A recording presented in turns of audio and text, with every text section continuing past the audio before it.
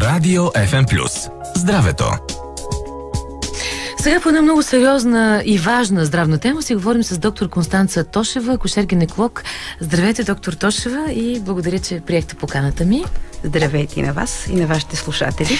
Говорим си за HPV вируса, един толкова зачастял женски проблем, че така в моят живот напоследък изключително много и то млади жени а, се срещнаха с него. Нека да започнем от основата, предполагайки, че малко хора, а, предполагам, че малко хора не знаят, но все пак изхождам от това, а, че най-важното е да разберем за какво говорим. Какво представлява HPV вируса и до какво води? HP вируса е една много често срещана инфекция и много често разпространен вирус в нашата популация. Какво говорим? Като казваме много често, какво означава това? Ами почти всяка втора жена един път в живота си може да се сблъска с него и съответно да бъде заразена с него. Слава Богу, той не е много опасен, ако се мисли разумно и се отнасям разумно към тази инфекция.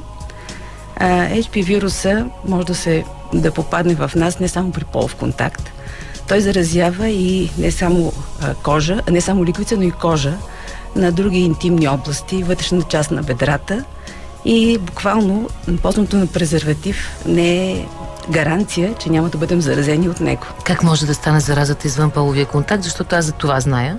Ми при любовна игра, при някакви а, така ласки преди това, не винаги осъществяването на полов контакт само води до това нещо. А може ли да бъде заразен човек от по друг начин, т.е. извън любовната игра? Общо от, взето... да речем, общи хавли? Не. Да речем, не. А, общо взето, основният път е половия път mm-hmm. и нещата свързани около а, така, около любовта между двама вярващи си хора. Мъжът е преносител? Основно да. И общо взето може да имаш не винаги хората, които имат много сексуални контакти са по-рискови. Може да се хване само от един единствен полов контакт с заразен партньор. Добре, как може да се преодолее това? Аз предполагам, че като начало е много важно да се прави преглед, независимо дали имаме един партньор. При положение, че се води активен полов живот, колко често трябва да се прави преглед? Жената да си прави. Хубавото. И мъжа. Да. Чакай, че защо винаги говорим за жените, не знам. Защото те са по така по-чувствителни и общо взето са потърпевшите от цялата ситуация. Те го, да, точно така. А, по принцип, хубаво да се знае, че този вирус, колкото и опасен, би могъл да бъде овладян, ако се хване на време, защото една инфекция с вируса нищо не значи. Той попада в нашия организъм и шансът да се развие в рак е не повече от 20% а, около 80% организма се самоочиства от него в някакъв интервал от време. Тоест самата ни имунна система да. се справя. Всичко е въпрос на имунитет, на начин на живот, а, на организма. Попадна в организма, а, общо взето, а, той създава само локален имунитет. Тоест, организма създава локален имунитет. Целият макроорганизъм не го разпознава и това е лошото на този вирус, защото а, може да се самоочистиме, после отново да се заразиме и периодично да го носим този вирус в нас. Общо взето идеята е, попадайки в нас този вирус, да дреме, а не да се активизира и да тръгне в онкогенна насок. Какво означава обаче да дреме, а не да се активизира? Ами има три варианта. Как да го докараме до там? Да. има три варианта, когато попадне поведение на вирус. Първият вариант е вируса а, влиза в клетката, но той не се интегрира с, нейната, с нейното клетъчно ядро. Той спи в нея и никога не се развива. Това са латентната фаза на инфекция, която може да, да продължи в целия живот.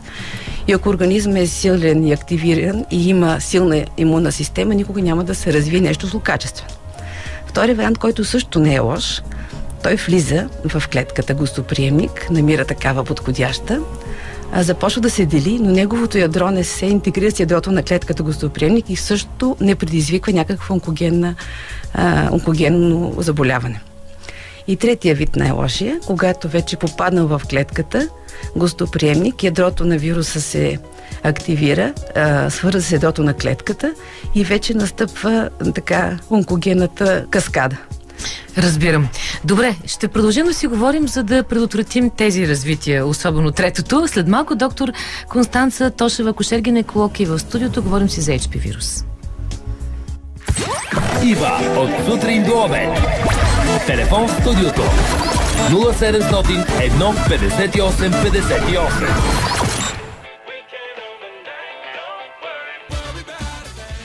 Радио FM Плюс. Здравето.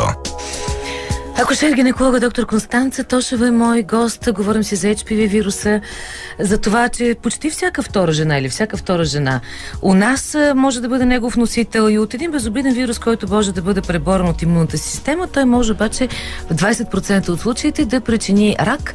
Вярно ли е, доктор Тошева, че това е и втория по чистота рак на жените след рака на гърдата? Този на маточната шийка. Да, вярно е това нещо. А годишно в световен мащаб около 500 хиляди жени се разболяват от това заболяване. Специално за България частотата е около 1100. Годишно, т.е. всеки ден, три нови случая се откриват, а от тях една жена умира. Всеки ден. А, така, известните хора, които са преодолявали този проблем, обикновено съветват след това. Моля ви, проверявайте се, правете го често. Младите момичета обаче сякаш нямат този навик. И а, до голяма степен те се оказват обаче едни от най-засегнатите, казвам го от опит. Така е, разбира се. Колко често трябва да се преглеждат а, дамите и от каква възраст трябва да започне прегледа гинекологичен? А, много индивидуално, реално за нашата, за нашата страна е прието всяка година, след навършване на 21, да има профилактичен преглед за младите, за жените по принцип. Не е ли малко късно, защото половия да. живот започва рано? Да, е, и в моята, доста преди 21, и в нека моята да кажем практика така. това се наблюдава. След 16 години те започват да ходят на гинеколог с или без своите родители.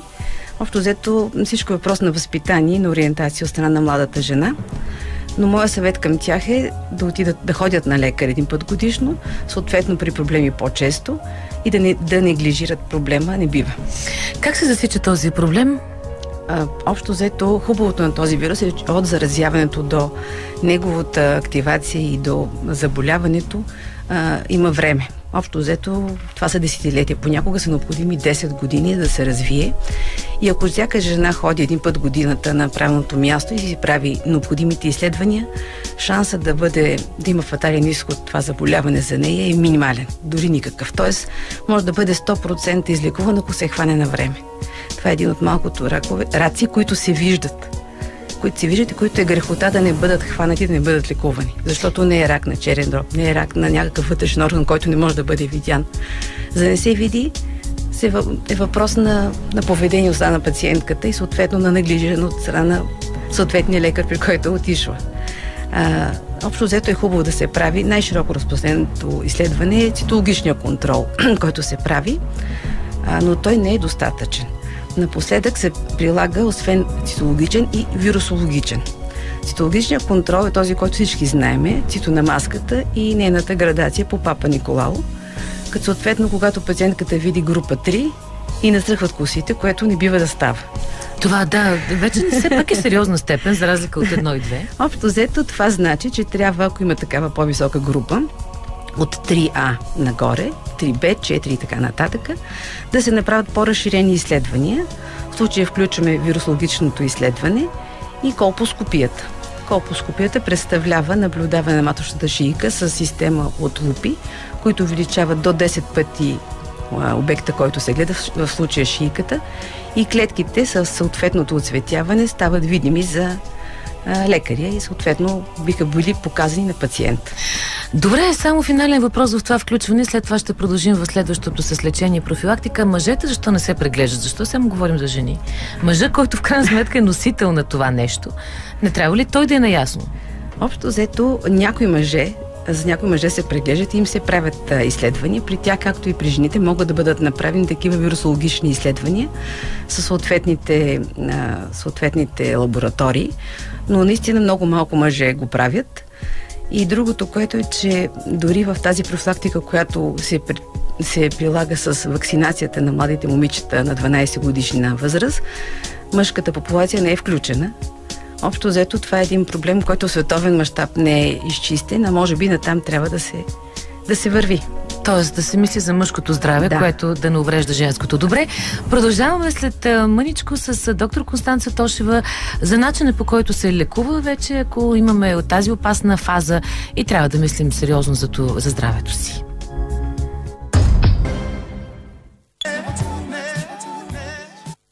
Радио FM Плюс. Здравето. Говорим си за HPV вируса, най-така разпространения а, в България. Всяка втора жена би могла да го а, има или да премине през него. В 20% от случаите, за съжаление, може да се стигне до рака. Доктор Констанца Тошева каза нещо много а, лесно за въображението, за да разберем, че всеки ден три жени умират. Умират това от лошо заболяване. Това лошо заболяване. да, как се прави а, профилактика и лечение съответно? Има ли такова? Сигурно. Аз бих искала да наблегна на профилактиката, а за да не се стига до там. Защото, пак, как казах в предишното изказване, че това е един рак, който протича пред очите ни и би могъл да бъде спрян на предракова позиция и никога да не се развие, да не се стигне до фатален край. А, споменах, че този вирус няма той, т.е. не е много вирусогенен, изгражда и не активира общ имунитет на макроорганизма, т.е. на жената. И когато попадне, се създава единствено локален имунитет. И от тук идва и идеята за превенцията от заразяването, как той да остане в латентна позиция и да не активира онкогенната каскада и да не превърне тези здрави клетки на шийката в безсмъртни ракови клетки, което е лошото. А, има доста природни продукти и не само такива, които повишават имунитета, както локални, така и общия на женски организъм. Кои са те? Бих споменала куркума, а, алма, алое и други, които могат да се използват. Тоест, когато използваме куркумата, да речем, в а, готвенето на различни ястия, това означава ли, че работим в положителна посока или не трябва точно. по специален начин не да я точно, взимаме? Защото а, доказвам, че тя няма кой знае колко висок а, бионаличност при приемане перос. Има лекарствени Тоест продукти. през устата? Да. Има лекарствени продукти, в които тя се съдържа за локално приложение, намира се на българския пазар и биха могли да бъдат използвани в тази ситуация.